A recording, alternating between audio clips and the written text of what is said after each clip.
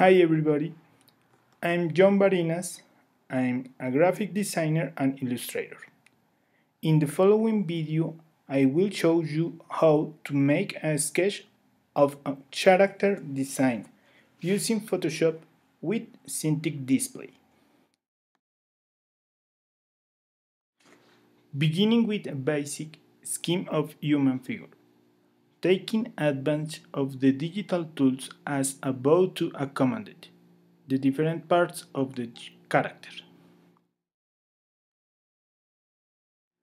Details are defined, and you can manage the volume of the sketch by changing the opacity of the brush.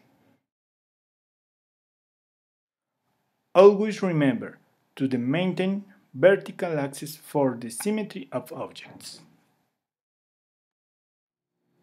It's not necessary to generate an inner skeleton if you don't handle a complicated pose of the character.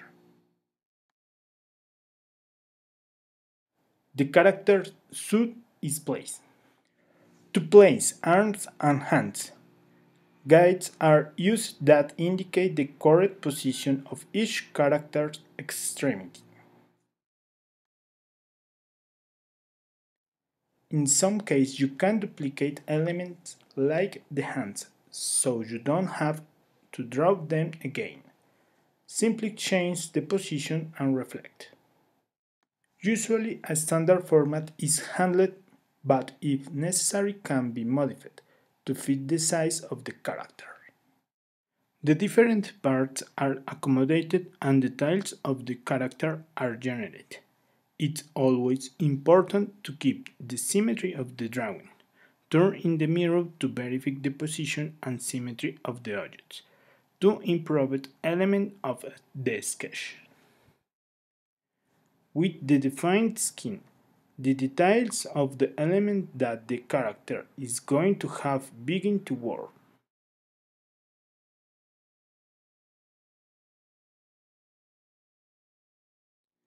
During the development of the sketch, the position and elements are correct with the help of the layer in a simple way as if they were working on paper.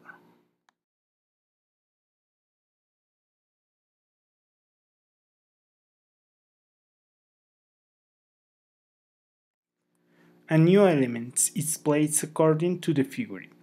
Remember that Photoshop adds tool rotate the workspace like a sheet of paper. The different parts of the figure are well adjusted and the details are finalized to fully define the character.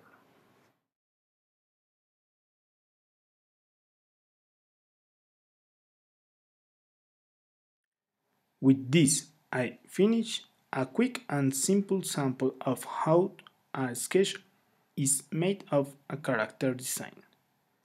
That is something I like to do.